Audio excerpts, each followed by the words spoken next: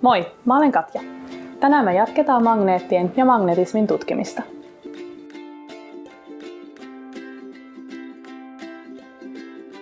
Ensimmäistä osaa varten tarvitset kaksi magneettia. Kokeile ensin liittää magneetteja toisiinsa. Tämän jälkeen käännä magneetti toisinpäin ja yritä asettaa magneetteja uudelleen yhteen. Voit asettaa magneetteja toisiinsa monessa eri asennossa. Mitä havaitset? Voit nyt pysäyttää videon ja kokeilla itse. Magneetit pyrkivät tarttumaan aina samoin päin toisiinsa. Tämä johtuu siitä, että magneeteilla on kaksi eri napaa. Etelänapa ja pohjoisnapa. Etelänapa pyrkii tarttumaan kiinni pohjoisnapaan, mutta se hylkii toista etelänapaa. Pohjoisnapa taas pyrkii tarttumaan kiinni etelänapaan, mutta se hylkii toista pohjoisnapaa.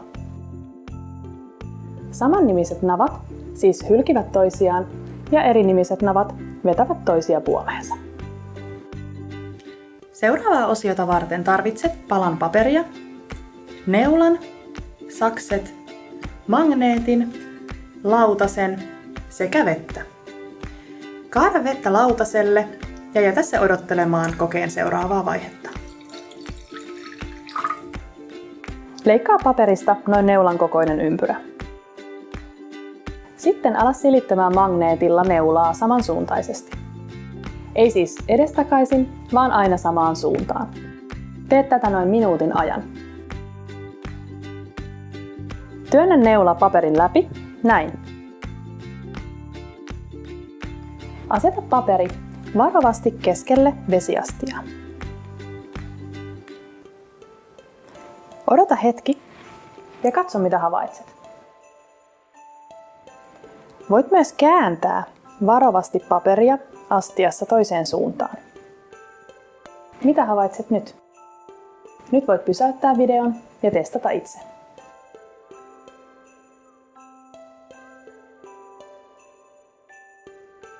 Neula pyrkii kääntymään aina samaan suuntaan. Mistä tämä johtuu? Aiemmin kerroimme, että magneetilla on kaksi eri napaa, etelänapa ja pohjoisnapa.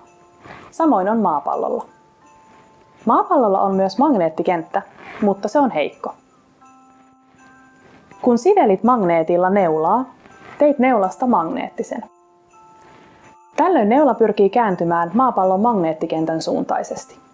Silloin neulan eteläinen pää kääntyy kohti pohjoista napaa. Ja neulan pohjoinen pää pyrkii kääntymään kohti maapallon etelänapaa.